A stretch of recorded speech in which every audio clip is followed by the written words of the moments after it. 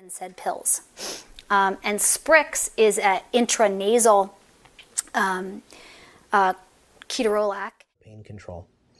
If they are in pain, you can use certainly parenteral medications like ketorolac. You can use oral medications like Tylenol and Motrin.